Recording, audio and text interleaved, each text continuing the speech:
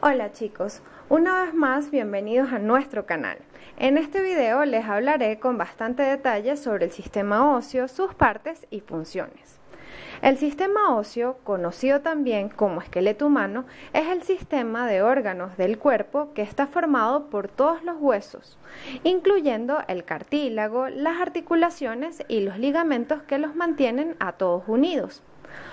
Podríamos decir que el sistema óseo es el andamio sobre el cual se construye nuestro cuerpo y adquiere la forma que tiene.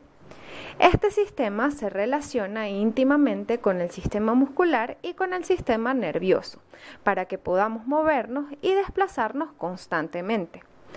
Los huesos son tejidos vivos muy activos y dinámicos, que están constantemente formándose y deshaciéndose. Están formados por distintos tipos de células que se especializan en tareas diferentes. Las células osteoprogenitoras, los osteoblastos, los osteocitos y los osteoclastos. Hay muchos huesos en nuestro cuerpo, más de 200. Veamos a continuación algunos de los principales. El cráneo es la estructura ósea que le da forma a nuestra cabeza y que encierra y protege a nuestro cerebro sostiene nuestros ojos, comprende la cavidad nasal y oral, así como el espacio de los oídos. Está formado por ocho huesos. El hueso frontal, dos huesos parietales, dos huesos temporales, un hueso occipital, el hueso efenoides y el hueso ecmoides. La columna vertebral protege la médula espinal, una parte importante del sistema nervioso central.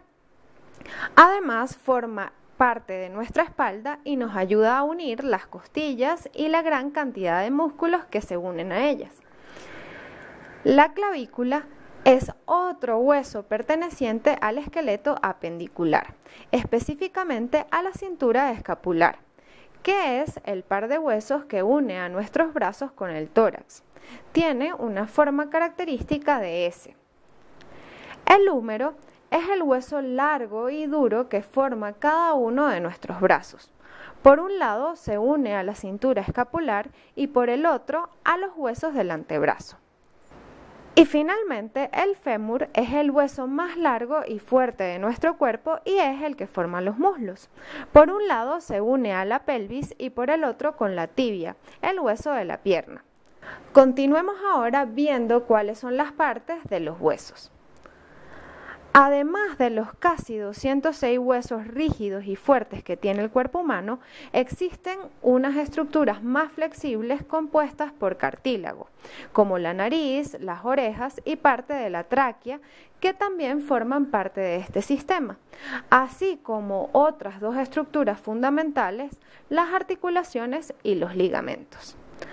Las articulaciones son los sitios de unión entre dos huesos que permiten el movimiento de un hueso respecto al otro.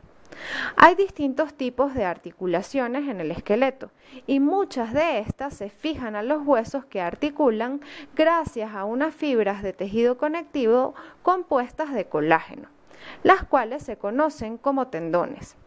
Estos actúan como estructuras de sujeción que impiden que los huesos se desplacen sobre las articulaciones.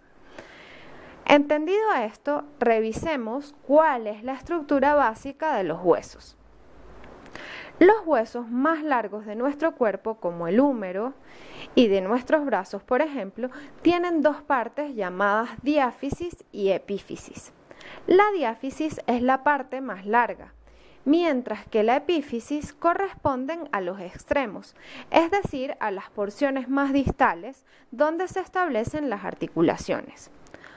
Muchos autores también señalan una región intermedia entre la diáfisis y la epífisis que se conoce como metáfisis. La diáfisis está formada por una parte de hueso que es denso y muy compacto. En su interior tiene una cavidad hueca que se conoce como cavidad medular, en donde se aloja la médula ósea, que es el tejido encargado de la formación de las células que circulan en la sangre, los glóbulos rojos y los glóbulos blancos. Las epífisis no son estructuras huecas, sino que tienen en su interior un hueso que se conoce como hueso esponjoso, que alberga una médula ósea similar a la de la diáfisis, pero que se conoce como médula ósea roja. La cavidad medular, por su parte, posee un revestimiento membranoso muy delgado conocido como endostio que corresponde al sitio donde el hueso crece, donde es reparado y remodelado. La superficie externa, en cambio, se conoce como periósteo y es la capa donde se encuentran los vasos sanguíneos, los nervios y los vasos linfáticos que controlan los procesos fisiológicos del hueso, lo nutren y lo oxigenan. Todo esto aplica para los huesos largos, pero no todos los huesos tienen la misma estructura. Los huesos planos, como los que forman nuestro cráneo, por ejemplo, están formados por una capa de hueso esponjoso cubierta en ambas superficies por una capa de hueso compacto, así como si fuese un emparedado. Ya que hemos revisado cómo es la estructura de las unidades más pequeñas de este sistema, veamos ahora sus partes. Aunque es uno solo, el sistema óseo suele estudiarse en dos partes bien definidas, conocidas como esqueleto axial y esqueleto apendicular. Estas partes, como veremos a continuación, cumplen funciones muy especiales y están compuestas por diferentes huesos. El esqueleto axial es la parte del sistema óseo que se encarga principalmente de la protección de los órganos vitales, el cerebro, la médula espinal, el corazón y los pulmones. Está formado por unos 80 huesos que se distribuyen en tres regiones, la cabeza, la columna vertebral y el tórax. La cabeza aloja al cerebro, así como a los ojos, la lengua, los dientes, las mandíbulas y la boca, la cavidad timpánica y la nasal. Por lo tanto, esta estructura se separa en el cráneo, la cara y el oído. La segunda región del esqueleto axial es la columna vertebral, que protege la médula ósea, soporta el peso de la cabeza y proporciona los sitios de fijación para las costillas y los músculos del cuello y la espalda. Finalmente, la cavidad torácica es la que forma nuestro pecho. El esternón y las costillas protegen al corazón y a los pulmones y suman en total 25 huesos.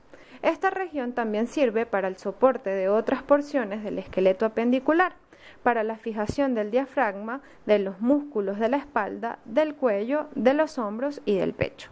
Veamos ahora el esqueleto apendicular. Este esqueleto cumple importantes funciones de movimiento y locomoción, ya que es la parte del sistema óseo que comprende las extremidades, es decir, los brazos, las manos, las piernas y los pies. Estos huesos se articulan unos con otros a través de una gran cantidad de ligamentos, cartílagos y tendones, y entre ellos están los huesos más largos y duros de nuestro cuerpo. Los huesos del esqueleto apendicular que forman las extremidades superiores se fijan al esqueleto axial en la parte superior del tronco, gracias a las cinturas escapulares derecha e izquierda. Tenemos dos extremidades superiores, una derecha y otra izquierda, cada una formada por un brazo, un antebrazo y una mano con cinco dedos. Ambas extremidades y cinturas escapulares suman 62 huesos que son de la cintura escapular, la clavícula y la escápula, del brazo el húmero, del antebrazo el radio y el cúbito. Y de la muñeca el hueso escafoides, el semilunar, el triquetral, el pisiforme, el trapecio y el amato o ganchoso. La mano está formada por los cinco metacarpianos que son las falanges, 14 proximales, intermedias y distales.